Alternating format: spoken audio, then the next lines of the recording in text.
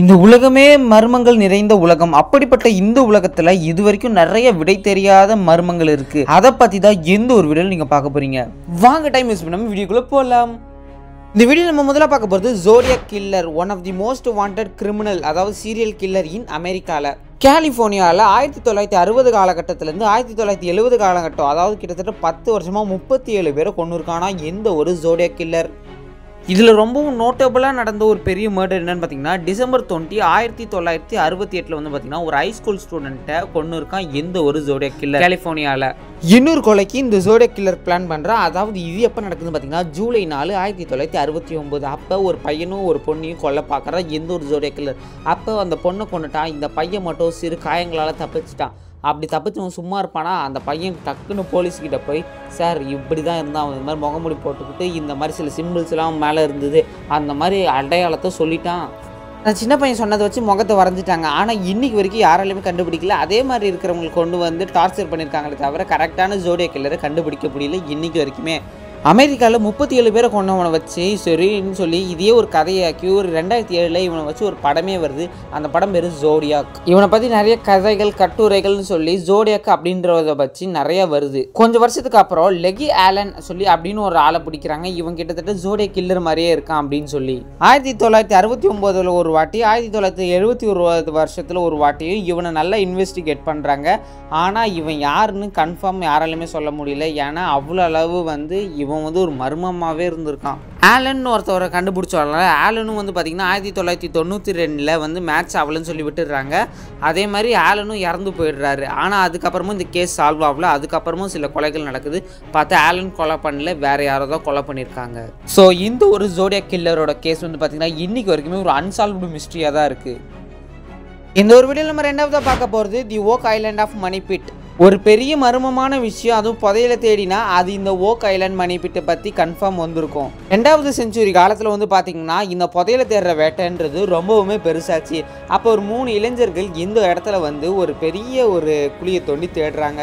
அப்போ அவங்களுக்கு கிடச்சது என்னன்னு பார்த்தீங்கன்னா கொஞ்சம் கடல் தண்ணியும் அதுக்கப்புறம் கொஞ்சம் வந்து பார்த்தீங்கன்னா சேறு தண்ணி சகதி அப்படின்னு சொல்லி எல்லாமே கலந்து தான் வருது.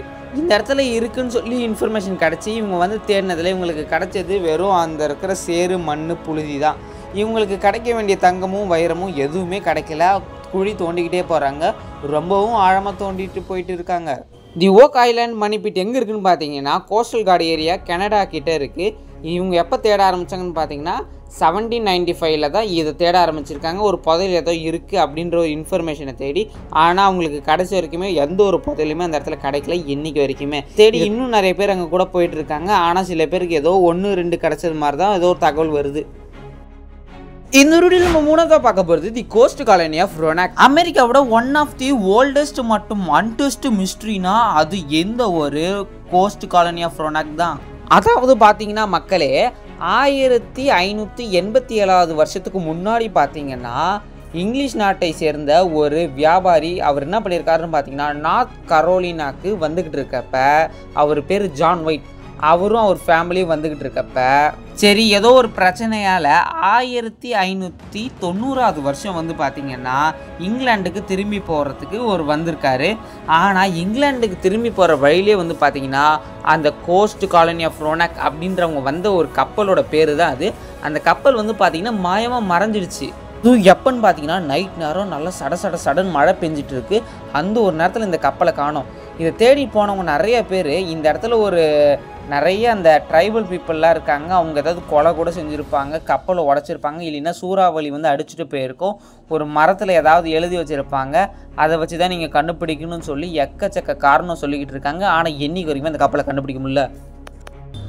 இந்த வீடியோ நம்ம அடுத்து நாலாவதாக பார்க்க போகிறது தி கோடாக்ஸ் கிகாக்ஸ் இந்த கோடாக்ஸ் கிகாக்ஸை நீங்கள் எங்கேயும் கேள்விப்பட்ட மாதிரி இருக்குன்னா கன்ஃபார்ம் நீங்கள் கேள்விப்பட்டிருப்பீங்க. இதை டெவில்ஸ் பைபிள்னு சொல்லுவாங்க.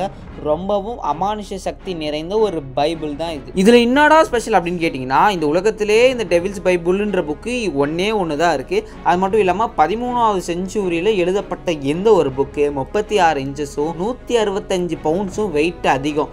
அது மட்டும் இல்லாமல் இந்த டெவில்ஸ் பைபிள்ன்ற பேருக்கு பின்னாடி ஒரு பெரிய ஒரு ரீசன் இருக்குது அதாவது இது நீங்கள் படித்து சில மந்திரங்கள்லாம் வாசிங்கன்னு வச்சுக்கோங்களேன் உள்ளேருந்து தீய சக்தி அமானுஷ சக்தியெல்லாம் இந்த உலகத்துக்கு வந்துடும் அது மட்டும் இல்லாமல் நீங்கள் சொல்கிறத தான் கேட்கும். அந்த மாதிரியான அமானுஷ சக்தியெல்லாம் இதுலேருந்து வெளியில் வந்துடும் அதனாலே பார்த்தீங்கன்னா இது ஏதோ ஒரு மியூசியத்தில் பத்திரமா பாதுகாக்கப்படுது அப்படின்றாங்க. இது வந்து யாருக்கும் திறக்க தொட அலோடு கிடையாது. முக்கியமாக நீங்கள் ஏதாவது தொடணும்னா அதுக்கு முன்னாடி நிறைய பர்மிஷன்லாம் இருக்குது அது மட்டும் இல்லாமல் அந்த நாட்டில் வச்சுருக்கிறது வந்து இவங்க வந்து ரொம்ப வேல்யூபிள் அண்ட் ரிலீஜியஸான ஒரு பைபிளாக பார்க்குறாங்க அடுத்து நம்ம இந்த வீடியோவில் அஞ்சாவதா பார்க்க போது பேஸ்குலா யூஎஃப்ஓ ஒன்றும் இல்லைங்க. இது ஏன் இப்படி சொல்கிறாங்கன்னா யூஎஃப்ஓவை ஒரு இடத்துல பார்த்துருக்காங்களாம் அக்டோபர் பதினொன்று ஆயிரத்தி தொள்ளாயிரத்தி எழுபத்தி மூணு அப்போ ரெண்டு நார்மலான ஒரு ஒர்க்கர்ஸ் ஒருத்தர் பேர் சார்லஸ் எக்கோசன் இன்னொருத்தர் பேர் கேல்வின் பார்க்கர் இவங்க ரெண்டு பேரும் வேலை செஞ்சுட்டு வீட்டுக்கு திரும்புகிறப்ப வந்து பார்த்தீங்கன்னா யூஎஃப்ஓவை பார்த்துருக்காங்களாம். ஆனால் இது யூஎஃப்ஓன்னு அவங்களுக்கு தெரியல. இப்போ பெரிய ஒரு ஓவல் ஷேப்பில் ஒரு பெரிய இட்லி தட்டு மாதிரி இருந்திருக்கு. அதுலேருந்து ஒரு பெரிய ப்ளூ லைட்டு மற்றும் பிங்க் லைட் கலந்த மாதிரி இருக்குது அதுலேருந்து தோல் ரொம்ப சுருங்கின ஒல்லியான மனுஷங்க இறங்கியிருக்காங்க. ஆனால் அவங்க தலையில் முடியெல்லாம் இல்லை அப்படின்ற மாதிரி லோக்கல் போலீஸ் ஸ்டேஷனில் வந்து சொல்லியிருக்காங்க. அப்புறம் இவங்க சொன்னதை வச்சு இன்வெஸ்டிகேட் பண்ணி பார்த்தா அப்புறம் இவங்களை மெடிக்கல் டெஸ்ட்டுக்கு எடுத்துகிட்டு போய் பார்த்தா இவங்க சொன்னது நிஜமாக தான் தெரிஞ்சிருக்கு. அதாவது நம்ம ஒரு மயக்கம் மாதிரி வர வச்சு இந்த அணியன் படத்தில் கேட்பாங்க பார்த்தீங்களா நீங்கள் சின்ன வயசில் என்ன பண்ணீங்க? அந்த மாதிரி.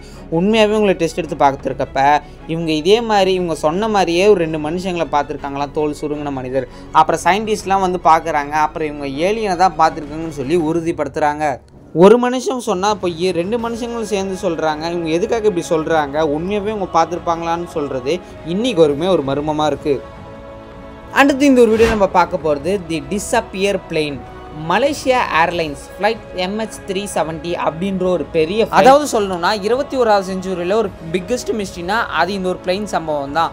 March eight two thousand fourteen அப்போ இந்த ஃப்ளைட்டோட பேர் the Boeing seven seventy seven two two hundred ER அப்படின்ற பிளெயின் கிட்டத்தட்ட டூ டுவெண்ட்டி நைன் பேசஞ்சர்ஸை வச்சு கோலாலம்பூர்லேருந்து பெஞ்சிங் சைனாக்கு போகிறதுக்கு ரெடியாக இருக்குது அந்த பிளெயின் கொஞ்ச நேரத்தில் டேக் ஆஃப் ஆனோடனே கிட்டத்தட்ட அரை மணி நேரம் கழிச்சு ரேடார்லேருந்து அந்த பிளெயினோட சிக்னல் மறைஞ்சு போயிடுது.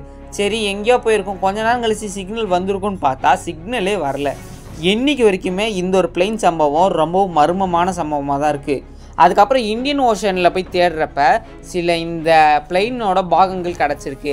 அப்போ தான் இந்த பிளெயின் வந்து ஏதோ ஒரு இன்சிடெண்ட்டில் சிக்கி ரொம்பவும் தூள் தூளாக உடஞ்சிருக்குன்றத உறுதிப்படுத்துகிறாங்க ஒருவேளை ஆனால் இது எப்படின்னு காரணத்தை கண்டுபிடிக்கணும். ஒன்று டிரைவருக்கு அதாவது அந்த பைலட்டுக்கு ஏதாவது ஹார்ட் அட்டாக்காக இருக்கலாம் இல்லை பிளெயின் ஹைஜாக் பண்ணியிருக்கலாம் இல்லைன்னா வெதரில் தான் மாட்டி சிக்கிடுச்சான்றது இன்றைக்கி வரைக்குமே தெரியல.